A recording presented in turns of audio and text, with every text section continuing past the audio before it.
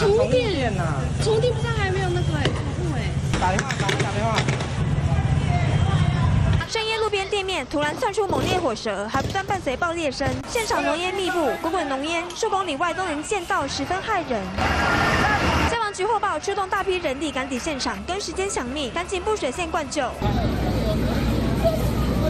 不止灭火，消防员也紧急将受困的宠物狗救出，同时 CPR 抢救。店员及热心民众不断抚摸救出的二十多只狗狗，也将它们安置在宠物笼。二十二号晚上九点多，花莲市中山路这间宠物店突然起火燃烧。虽然火势一度控制在两家店，但由于现场为木造建筑，火势瞬间延烧一旁三栋商家，瞬间陷入火海。幸好第一时间周边店员都已经跑远，没有伤亡。今天上午现场一度还有余烟冒出，消防员派遣消防车在现场进行洒水降温，并进行火场监视。据了解，宠物店还有一只狗丧生火海。社群有言论指出，起火点是在宠物店，店主黄先生大表不公。黄先生表示，在这里营业三十多年，外面的店员起火已经不是第一次。深夜突如其来的大火惊扰许多人，详细起火原因还有待调查。记者刘锦娇、李佳燕花莲采访报道。